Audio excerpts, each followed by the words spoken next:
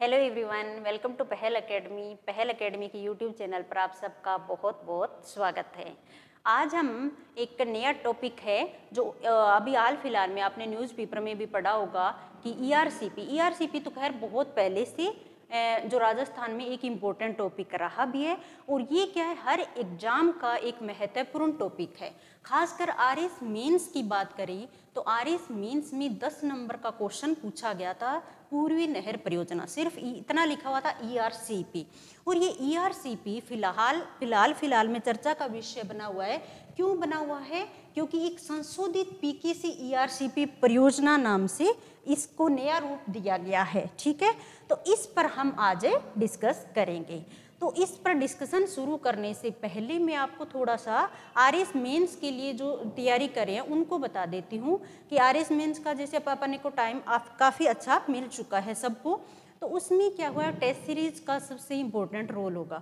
तो test series जितना ज़्यादा लिख सकते हो, उतना ही बेनिफिट होगा, क्योंकि तैयारी तो जो टाइम दिया गया था, उसमें सबकी ऑलमोस्ट हो चुकी है। और नहीं भी हुई तो साथ में तैयारी साथ में लिखना जारी रहेगा। तो पेपर फोर की टेस्ट सीरीज़ है, वो यहाँ 11 फरवरी से पहला अकेडमी वापस, नए रूप में वापस स्टार्ट कर रही है। तो आप 11 फरवरी से टेस्ट सीरीज़ को ज्वाइन कर सकते हो ऑफलाइन भी और ऑनलाइन दोनों मोड में रहेगी। ठीक है? तो चलो अब अपने टॉपिक पे आते हैं। ये क्या टॉपिक है? संशोधित पीकेसी ईआरसीपी परियोजना। मोडिफाई पीकेसी और ईआरसीपी है। पीकेसी क्या है? पीकेसी सिर्फ़ नाम दिए, पीकेसी? तो ये है आपका कि पीकेसी जो पार्वती पार्वती, काली सिंध और चंबल। पीकेसी का फुल फॉर्म है पार्वती, काली सिंध और चंबल, ठीक है? चंबल परियोजना।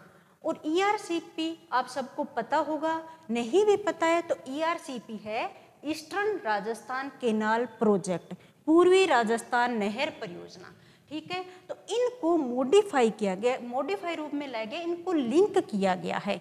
तो ये फ़िलहाल फ़िलहाल में क्यों चर्चा में रही? कि आपने न्यूज़पेपर में भी पढ़ा होगा कि क्या अट्ठाईस जनवरी 2024 को एक त्रिपक्षीय एमओयू पर साइन हुए हैं? किस किस के बीच में? केंद्र सरकार, राजस्थान और मध्य प्रदेश। केंद्र, राजस्थान और मध्य प्रदेश सरकार के बीच में एमओयू पर एक एमओयू पर साइन हुए कब हुए? 28 जनवरी 2024 को। ये न्यूज़ रही थी। ठीक है, आपको न्यूज़ दिख रही है। तो अब अपने को ये है कि बहुत ही इम्पोर्टेंट टॉपिक बन जाता है, खासकर आर एस मीन्स के लिए। पहले जब ये चर्चा में था, तब पूर्वी नहर परियोजना क्वेश्चन आया हुआ था, दस नंबर का, सीधा क्वेश्चन ठीक है? अब ये वापस इस क्वेश्चन को पूछे जाने की पूरी संभावना बन रही है। तो अपने को पता होना चाहिए कि संशोधित पीकेसी ईआरसीपी परियोजना है क्या। इसको समझने के लिए पहले अपने को पीकेसी समझनी पड़ेगी, फिर ईआरसीपी को देखना होगा और फिर दोनों को कंबाइन रूप में देखेंगे। ठीक है? तो चलो देखते हैं। पीकेसी लिंक परियोजना क्या है? पीकेसी लिंक मैंने बता दिया, पार्वती, काली सिंध, चंबल। ठीक है? तीनों को लिंक परियोजना है। ये। अब क्या है कि पार्वती काली सिंध चंबल लिंक परियोजना ये अब की नहीं है। 1980 में क्या हुआ था कि उस टाइम केंद्रीय सिंचाई मंत्रालय नाम था, जो अब क्या है, जल संसाधन मंत्रालय केंद्रीय सिंचाई मंत्रालय और केंद्रीय जल आयोग ने एक राष्ट्रीय परिप्रेक्ष्य योजना, एक प्लान बनाया था। उस प्लान में कहा कि 30 देश की विभिन्न 30 लिंक परियोजनाओं को शामिल किया गया। राष्ट्रीय परिप्रेक्ष्य योजना में।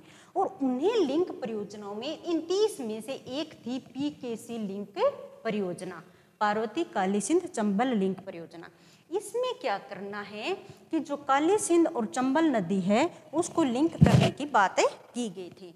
काली सिंध चिंबल लिंक है, उनके लिए एक रिपोर्ट तैयार की और उन्नीस सौ इक्यानवे में वो रिपोर्ट प्रसारित कर दी गई थी, ठीक है?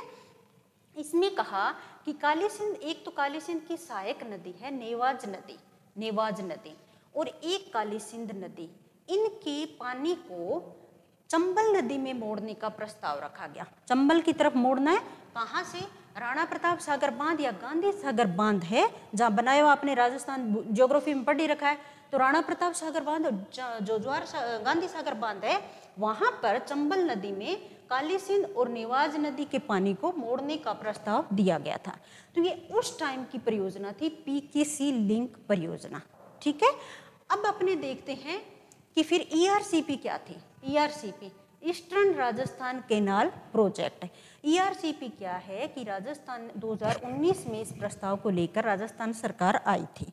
ठीक है? ये भी क्या है कि इसमें क्या हुआ कि पूर्वी राजस्थान नहर परियोजना है।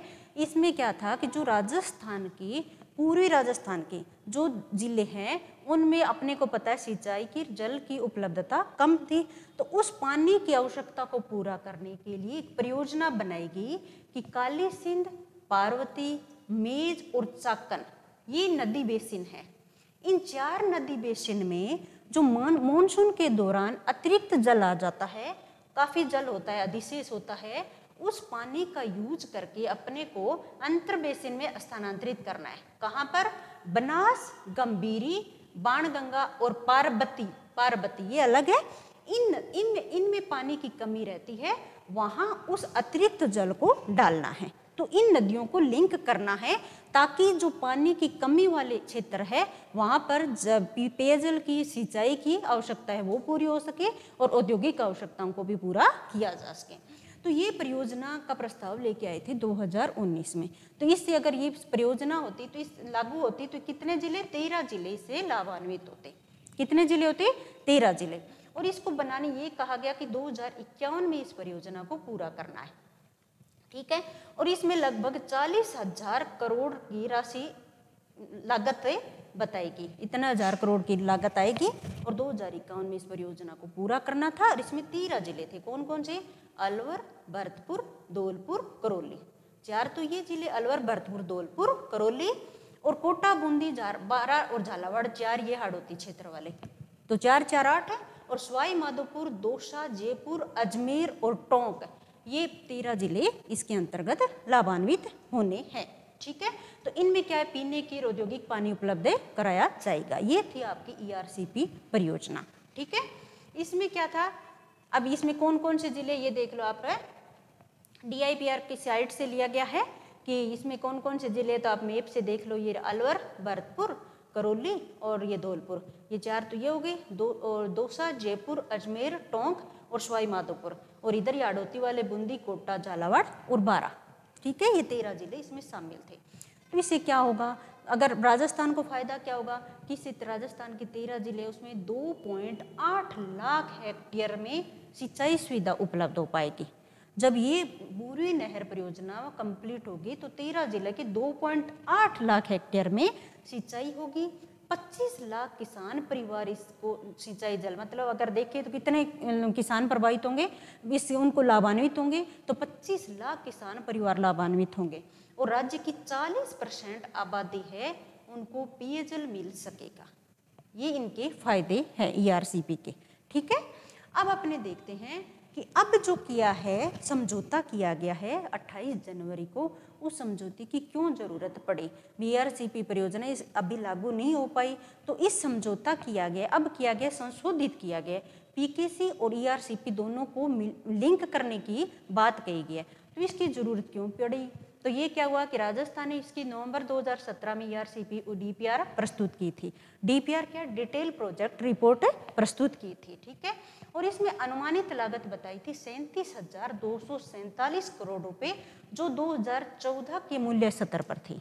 ठीक है? उस टाइम की लागत ये थी, अब जो वर्तमान में ये चेंज आ गया है, इसमें बदलाव हो गया है। और दूसरा कि आपको पता होगा कि अब ई e हमेशा चर्चा में रह गया है तो स्टार्टिंग में क्या इस मैंने बताया इसकी लागत है? सैंतीस हज़ार करोड़ तो उस टाइम बताई थी, चालीस हज़ार करोड़ की बात हुई थी तो इसे राष्ट्रीय दर्जा देने की मांग भी पिछली गवर्नमेंट ने की थी भी राष्ट्रीय दर्जा, इसे दिया जाना चाहिए। और राष्ट्रीय दर्जा देने के लिए रिपोर्ट प्रस्तुत की थी, लेकिन इसे राष्ट्रीय दर्जा उस टाइम दिया नहीं जा सका, क्योंकि कुछ मानक होते हैं, जो जिनके आधार पर इन्हें राष्ट्रीय दर्जा दिया जा सकता है, वो मानक कहीं ना कहीं पूरा नहीं कर पा रहे थे।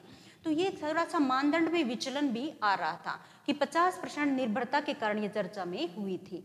ये होता है कि जो जल का बहाव है, उसमें उपलब्धता, हमेशा जो उपलब्धता है, जो निर्भरता है, वो पिचहत्तर परसेंट की बनी रहनी चाहिए। ये मानदंड थे, लेकिन यहाँ ई आर सी पी पचास परसेंट की निर्भरता को पूरा कर पा रही थी। इससे मध्य प्रदेश है, वो सहमत नहीं था। ठीक है? तो फिर इसको कहा, इसके सुझाव के रूप में दिया गया। टास्क फोर्स ने कहा पीकेसी लिंक नहर परियोजना के साथ ईआरसीपी है, उसको एकीकृत कर दिया जाना चाहिए। ये नवंबर 19 में बात हो चुकी थी और इससे अब समझौता ज्ञापन पर अब हस्ताक्षर हुए हैं 28 जनवरी 2024 को। ठीक है? तो इस वजह से इसकी ज़रूरत थी, अब इसको इस समझौते पर हस्ताक्षर हुए हैं। अब देखते हैं कि संशोधित पी के सी ई आर सी पी क्या है। तो संशोधित पी के सी तो नाम तो वो आपको पूरा लिखना है लिखो तब। संशोधित पी पीकेसी तो पार्वती काली सिंध चंबल और ये ईस्टर्न राजस्थान केनाल प्रोजेक्ट। दोनों को लिंक करने की बातें कही गई है। तो एक तो ये हो जाएगी अंतर राज्य नदी जोड़ो परियोजना। अंतर राज्य मतलब दो राज्यों की एक परियोजना होगी। तो जैसे ये तो आपको पता ही हो गया, राजस्थान और मध्य प्रदेश दोनों की परियोजना है और इसमें केंद्र सरकार भी शामिल है। दूसरा इसमें विस्तृत परियोजना रिपोर्ट है, उस पर काम चल रहा है और इसमें राजस्थान, मध्य प्रदेश केंद्र के साथ समझौता ज्ञापन की योजना बनाई गई है। वो समझौता ज्ञापन अभी साइन हुआ है, अब आगे इस पर काम करेगा। अब ये होगा कि जो जल का बंटवारा है, वो किस हिसाब से होगा? कितना जल बंटवारा मध्य प्रदेश को, कितना राजस्थान को? और जो लागत लगेगी, वो उसका साझाकरण भी कितना लागत है, वो लगेगी जिसमें कितना राजस्थान को देना होगा, कितना मध्य प्रदेश को, कितना केंद्र सरकार को? फिर क्रियान्वयन तंत्र कौन, कहाँ कौन क्रियान्वयन तंत्र होगा? और उसका मैनेजमेंट है, वो कौन है, करेगा? इसमें ये संशोधित पीकेसी ईआरसीपी में इन बातों को ध्यान में रखा जाएगा। तो ये इसमें होगा कि मेन इसी वजह से ईआरसीपी लागू नहीं हो पा रही थी कि कुछ कहीं ना कहीं लागत का और क्रियान्वयन तंत्र का प्रबंधन का जो केंद्र राज्यों में एक जो समझौता नहीं हो पा रहा था, वो अब इसमें यहाँ समझौता हुआ है। ठीक है? अब अपने देखते हैं कि ये इस परियोजना से राजस्थान को क्या क्या लाभ होंगे। तो मोटे मोटे तीन टॉप पॉइंट तो मैंने आपको बता दिए हैं, वो लिखने लिखने हैं। इसमें आपको सबसे पहले बताना है कि तेरह ज़िले हैं उसको पीने का पानी और औद्योगिक पानी उपलब्ध हो जाएगा। मध्य प्रदेश है उसका मालवा और चंबल दोनों क्षेत्र को लाभ मिलेगा।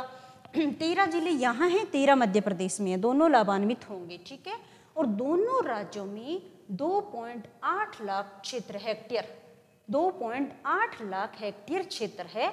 यानी मध्य प्रदेश का 2.8 लाख हेक्टेयर क्षेत्र और राजस्थान का 2.8 लाख हेक्टेयर क्षेत्र। लाभान्वित होगा, जिसमें सिंचाई होगी। तो दोनों देखिए तो 5.6 लाख हेक्टेयर क्षेत्र है, वहाँ सिंचाई की सुविधा उपलब्ध हो सकेगी। ठीक है? ईआरसीपी e के तहत पूर्वी राजस्थान के मैंने तेरह ज़िले बताई दिए। वो तेरह ज़िले हैं, उनमें पेयजल उपलब्ध होगा। इस परियोजना से तेरह ज़िले के लगभग 25 लाख किसान परिवार है। वो प्रभावित होंगे, उनको लाभान्वित होंगे। और राज्य की टोटल जनसंख्या देखें तो 40 परसेंट है, आबादी है। उनको पेयजल उपलब्ध हो सकेगा। तो इससे अब पानी की उपलब्धता होगी तो भूजल के स्तर में वृद्धि होगी? इससे कृषि उत्पादन बढ़ेगा कृषि उत्पादन बढ़ेगा तो किसानों की आय बढ़ेगी।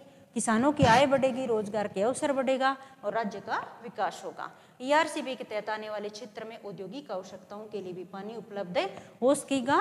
तो ये आपके फ़ायदे हैं, इनके लाभ है, जो पॉइंट्स है, वो आपको याद रखने हैं। तो ये आपकी ईआरसीपी परियोजना, जो संशोधित, जो पीकेसी ईआरसीपी परियोजना है उसके बारे में डिटेल से लिखा गया है। अब आप इसको लिखना चाहो तो एक पेज में आप इसको क्वेश्चन के रूप में लिख सकते हो, इन पॉइंट्स को डाल के तो आप अच्छे से ये आपका क्वेश्चन है, तैयार हो जाएगा। तो आज हम ये टॉपिक यहीं समाप्त करते हैं। अगले टॉपिक के साथ फिर मिलेंगे, और आप अपने टेस्ट सीरीज़ है, वो ज़रूर कंटिन्यू कीजिए, और और कोई मैटर के संबंध में आपको कोई जानकारी लेनी है तो आप हमसे कॉन्टैक्ट कर सकते हैं और पहल अकेडमी ऐप को डाउनलोड करके उसमें आपको सारी जानकारी मिल जाएगी। Thank you thank you so much